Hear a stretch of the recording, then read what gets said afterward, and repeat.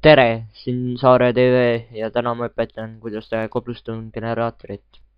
see peaks välja nägema selline. et jah, alustame siis. kõigepealt lõhuta kolm plokki ja siis lõhuta ühe alla ja siiapoole kaks. sinna, kus lõhkusite kaks, sinna panete laava ja sinna, kus kolm, sinna panete vee. ja siis tekib siia kogu, kogu aeg cobblestone'i. aitäh! Aitäh vaatamast ja nägemist!